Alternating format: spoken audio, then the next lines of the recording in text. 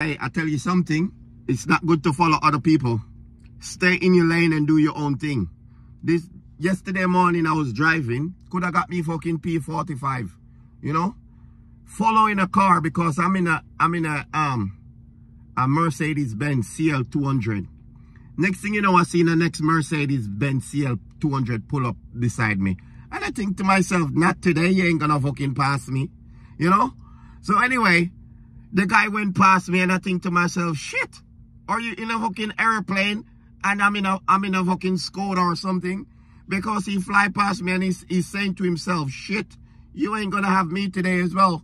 So next thing you know, I start following this guy, try to get around this guy. I'm going to Banbury, okay, on the way to like going towards London, Banbury, if you know where Banbury is.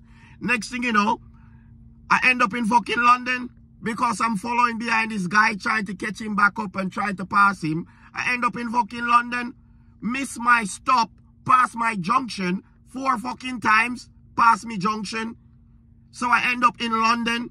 So I had to go all the way fucking round to come back up to London. When I reach in London, I think to myself, where the fuck am I? What the fuck is happening to me?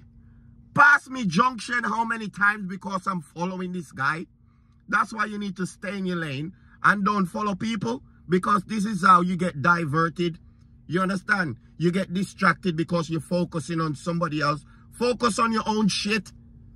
Could have got me fucking P45, mate. Was late for my job.